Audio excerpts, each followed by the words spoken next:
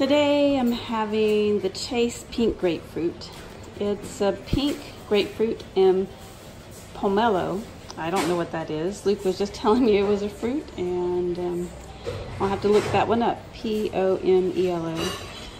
Um, anyway, they make a fantastic pairing in this single estate gin from Herefordshire.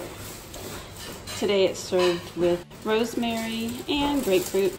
I had a sip of the gin. Let me have another now that it's gotten cold.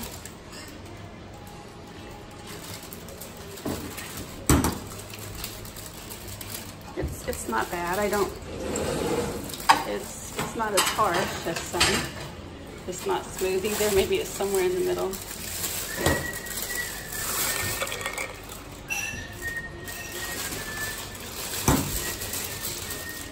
Uh, let me say that grapefruit's not my favorite, but this one is nice. It's like a good summertime kind of sit outside and have a drink drink. I recommend it.